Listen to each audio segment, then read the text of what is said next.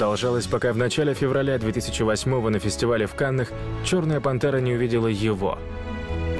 46-летнего российского бизнесмена Владислава Доронина. Это была любовь с первого взгляда. В первый же вечер мы не отходили друг от друга ни на секунду.